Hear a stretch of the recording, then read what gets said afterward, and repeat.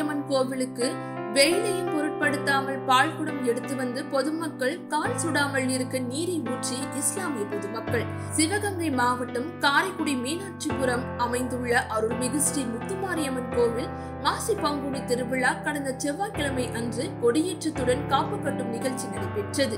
இந்த கோவிலில் சிறப்பம்சமே காப்பு கட்டி அந்நாளிலேயே இருந்து பொதுமக்கள் லட்சக்கணக்கில் பால்குடம் எடுத்து வருவது வழக்கமாகும்.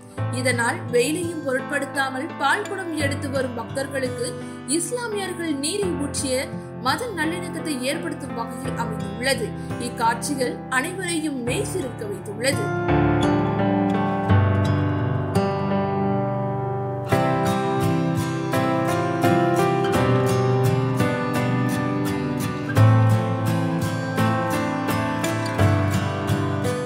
உடனுக்குடன் செய்திகளை அறிந்து கொள்ள ஐஎஃப் தமிழ் பெல் ஐக்கனை கிளிக் செய்யுங்கள்.